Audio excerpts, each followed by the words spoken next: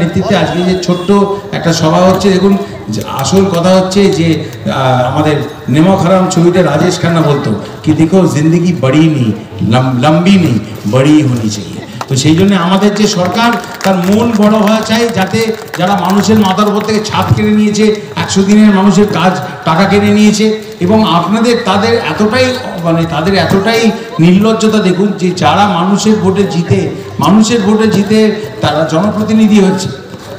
তারা ক্যামেরার সামনে দাঁড়িয়ে বলছে, আমরা দিল্লিতে গিয়ে বলব যাতে বাংলার জন্য এক পয়সা না দেয়। এদেরকে বুঝিয়ে দিন যে এক পয়সার দাম কত এবং মানুষের একটা আঙুলের দাম কত। এইবারের ভোটে তৃণমূল কংগ্রেসের ভোট দিয়ে আমি এই প্রচণ্ড গরমের মধ্যে লম্বা বক্তৃতা করব না, আমি লম্বা বক্তৃতা করতেও পারি না।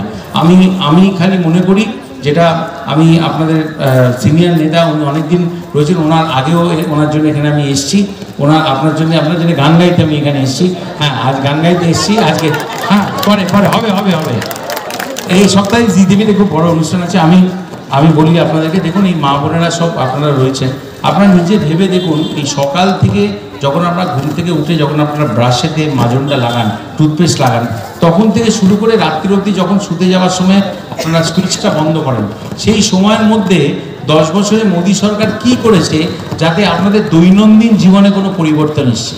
আপনাদের রোজকারের জীবনে কি পরিবর্তন এসেছে সেটা ভেবে দেখুন। চারদিকে দেখবেন যে ছবি, প্রচুর। এমনকি বাচ্চাদেরকে আমাদের দেশে কন্যা শিক্ষার হার, মেয়ে, কন্যা সন্তানদের শিক্ষার হার কম বলে আমরা বিশ্বের অনেক দেশের থেকে অনেক বেঁচে গেছি সেই কন্যা শিক্ষাদানের জন্য যে যে স্কিম করা হয়েছিল, বেটি বাঁচাও, বেটি পড়াও তাদের যে বাজেট দেওয়া হয়েছিল, তার মধ্যে মানে সাতাত্তর শতাংশ খালি অ্যাডভার্টাইজমেন্ট করছে করতে হয়েছিল। অর্থাৎ যদি একশো টাকা মেয়েদের এই ছোটো ছোটো বোনেদের যে মানে কি বলব, ভাইজি বলব, ছোট ছোট মেয়েদের যে পড়াশোনার জন্য যে টাকা রাখা হয়েছিল, তার মধ্যে একশো টাকার মধ্যে সাতাত্তর টাকা খালি মোদিজির ছবি লাগাতে ব্যবহার হয়েছে।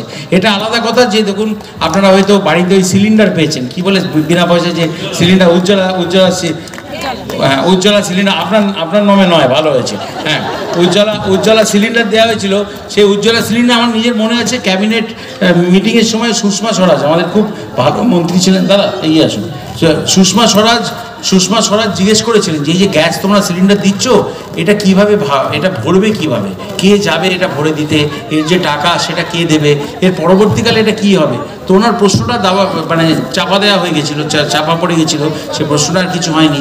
আজকে আপনি জিজ্ঞেস করে দেখুন, হয়তো অনেকেই ফ্রিতে সিলিন্ডার দেওয়া হয়েছে, আপনারা নিয়েছেন। কিন্তু সেই সিলিন্ডারের গ্যাসের দাম এমন করে দেওয়া হয়েছে যে আপনারা সেই সিলিন্ডারগুলো বাড়িতে আছে কেউ বাড়িতে গিয়ে গামছাটা খুলে তার উপর রাখে, কেউ হাঁড়িটা তার উপরে রাখে। ওটা একটা বাড়িতে এক্সট্রা একটা আলনা হয়ে গেছে, জিনিস